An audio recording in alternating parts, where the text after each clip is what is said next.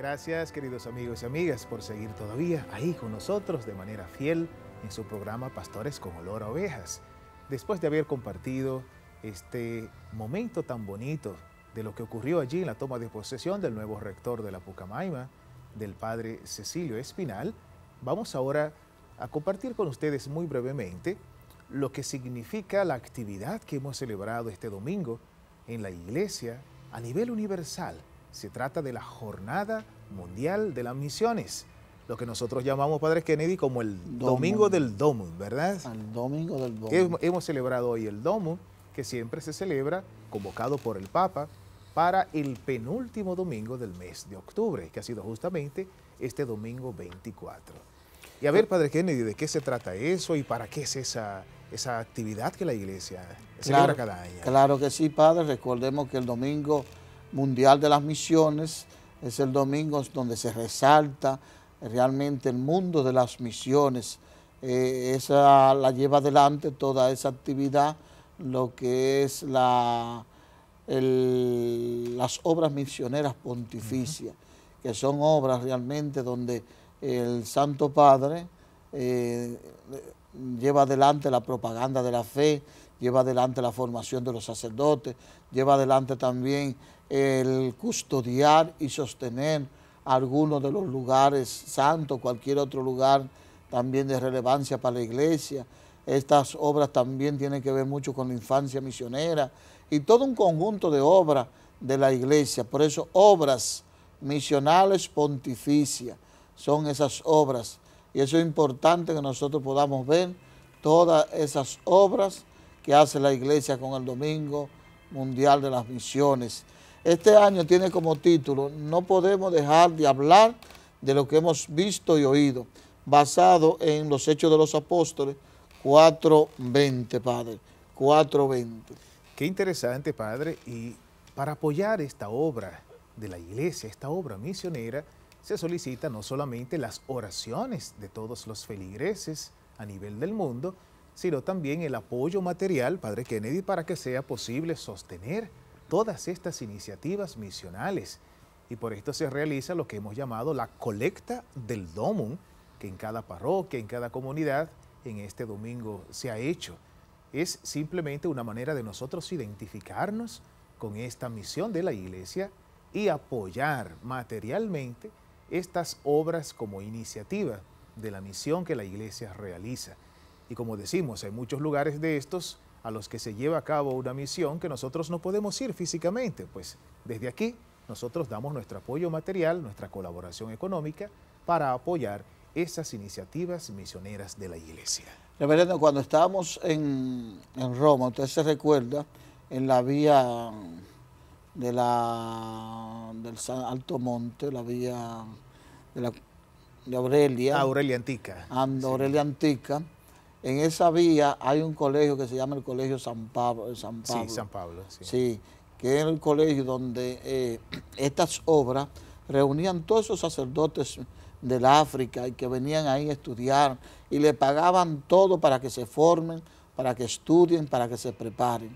Y precisamente lo que estamos viendo hoy en día, eh, todos esos sacerdotes que van al África y todos esos sacerdotes que se entregan, es, esas obras misionales pontificias lo ayudan a formarse los presbíteros.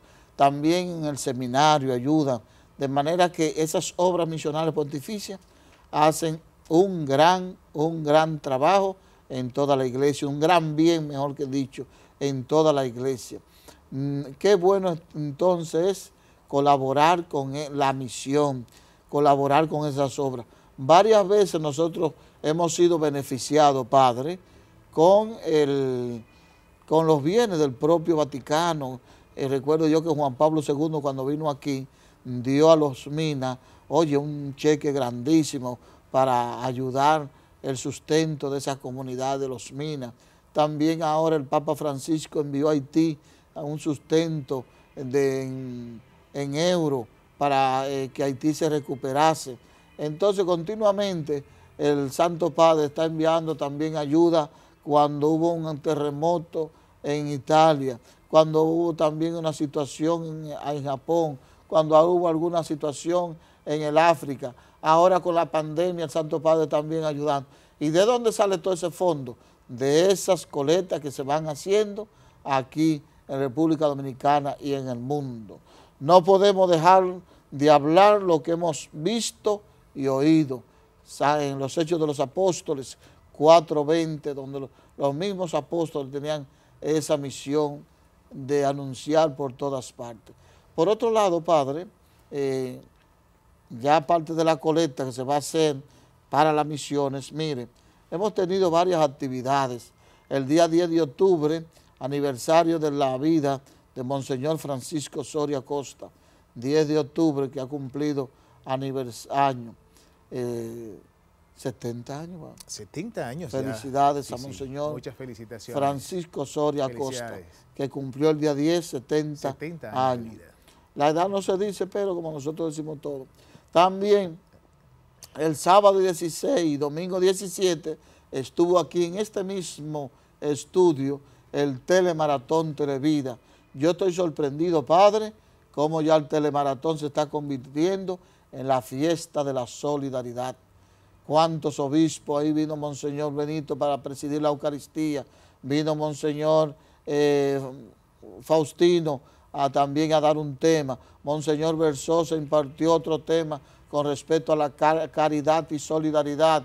Eh, también eh, pasaron los sacerdotes, pasaron también personalidades, pasaron los fieles laicos, entonces también el mundo artístico, las producciones, dos días de una mega producción, gracias del alma, y se ha recaudado 2.3 millones de pesos gracias a Dios. ¿Y para qué da eso? Bueno, solamente en cámara hemos comprado al doble, de manera que eh, eso es mucho. Ayuda, Padre.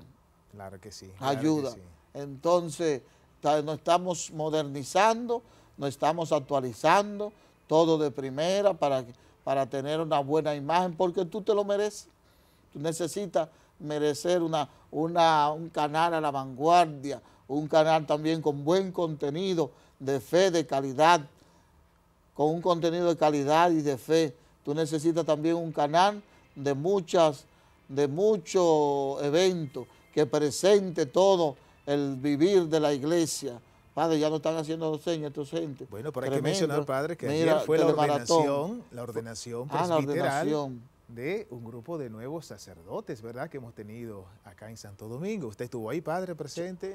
En esa ordenación no pude estar, pero, la vi, la vi. Ah, bueno, usted fue testigo entonces. Felicitamos a los nuevos eh, sacerdotes que se ordenaron para nuestra iglesia también.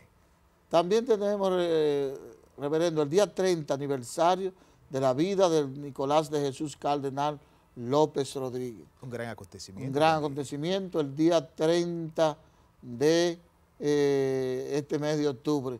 Ojalá que todos podamos ah, orar por él. El 31 de octubre, ¿verdad? El 31. 31 de octubre. 31, sí, sí, Damos gracias a Dios por la vida del señor cardenal.